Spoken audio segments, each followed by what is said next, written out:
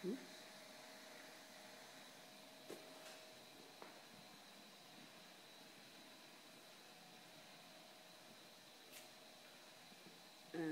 dan komt hier de olie uit. Een pers uit Italië.